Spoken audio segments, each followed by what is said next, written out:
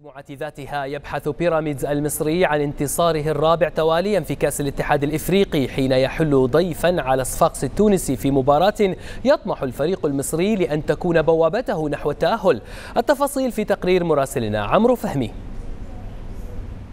ثلاثة انتصارات متتالية منحت بيراميدز العلامة الكاملة في جولات الذهاب من كأس الاتحاد الإفريقي. وفوز جديد آخر سيكون كافيا لضمان التأهل إلى ربع النهائي.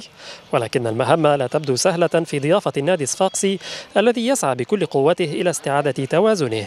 وهو ما جعل قيادة الفريق المصري تتوقع ظهور أصحاب الأرض بشكل مغاير للتحفظ الدفاعي الذي ميز أسلوبهم في اللقاء الماضي بالقاهرة. والله أتوقع إنها بقى طبعا يعني مفتوح أكتر منهم. مش هيبقوا مستعجلين قوي لكن هم يجربوا في الأول على ما أعتقد يعني. وإن شاء الله نبقى مستعدين للمباراة. وهم فرقة جيدة جدا وعندهم لعيبة جيدة وعندهم يعني منظمين. لكن في الأول والآخر يوم المباراة ده بتبقى موضوع مختلف شوية. هنشوف إيه اللي هيحصل وإن شاء الله ربنا يسهل ونبقى مستعدين يعني.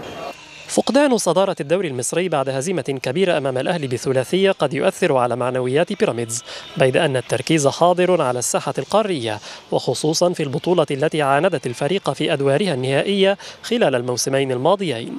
عايز أعمل حاجة السنة دي مع الفرقة, مع الفرقة ومع النادي. أنا شايف أن النادي يستحق أن هو يبقى في حتة كويسة وإن شاء الله ناخد بطولة.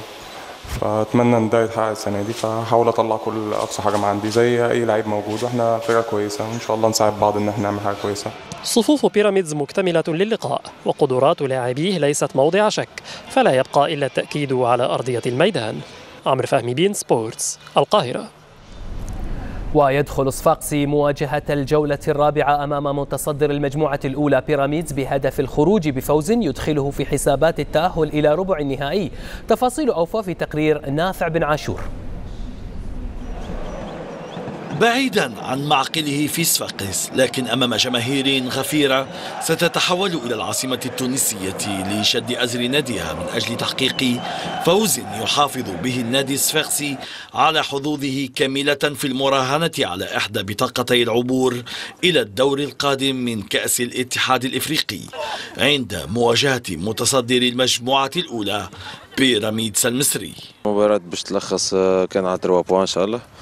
إن شاء الله نكونوا حاضرين لعبت كل حاضرة الولاد كل حاضرين. إن شاء الله نروحوا كان بتروا بوان من من رادس.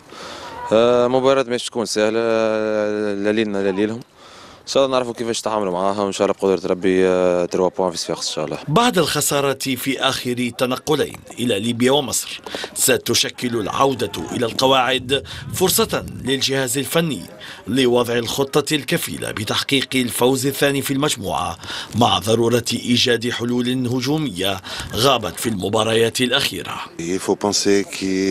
يجب علينا الفوز إذا ما أردنا المراهنة على إحدى بطاقتي التأهل. الحصول على النقاط الثلاث أمر حتمي تحت الأمطار النادي السفاقسي ينهي تحذيراته لمواجهة متصدر المجموعة بيراميدز المصري في مواجهة لا خيار فيها لرجال المدرب البرتغالي جورج كوستا سوى الانتصار. نافع